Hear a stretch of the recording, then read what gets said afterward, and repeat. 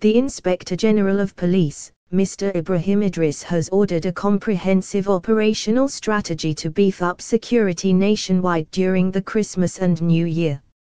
A statement by the force spokesman, CSP Jimoh Moshood in Abuja on Friday, said Idris directed all commissioners of police and assistant inspectors general of police to ensure adequate security of lives and property of Nigerians.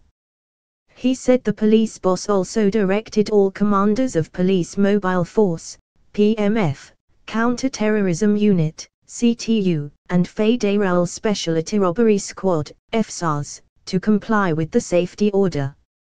Moshood added that special forces and specialized units of the force, including Special Tactical Squad, Special Protection Unit, Border Patrol and Explosive Ordnance Department have been mobilized across the country.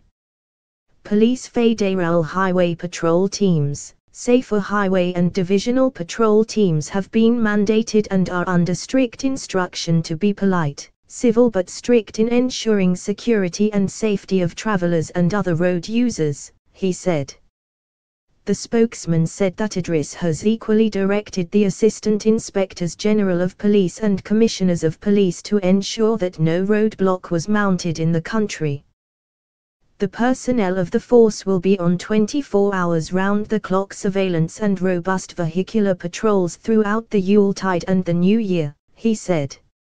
He said adequate deployment would be carried out in places of worship and venues of celebration including strategic public places, recreation centers, shopping malls, business plazas and motor parks.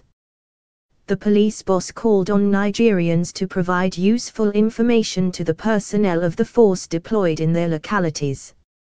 Source, NAN. Miracle fruit improves eyesight can help stop use of glasses in 30 days.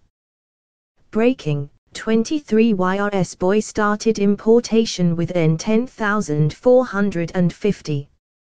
Read his story here Financial Empowerment Get financially stable and get multiplied income today. Register here. Midnight, pressed barrister Anthony suddenly could urinate. Shrink your enlarged prostate here. Let's have some fun throwing jabs and jokes at the EPL stars.